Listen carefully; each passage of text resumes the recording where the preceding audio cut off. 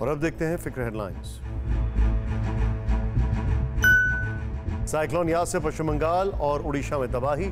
चार की मौत 20 लाख से ज़्यादा लोगों को दूसरी जगह शिफ्ट किया गया। केंद्र ने उड़ीसा को रिलीफ फंड के तहत 641 करोड़ रुपए दिए।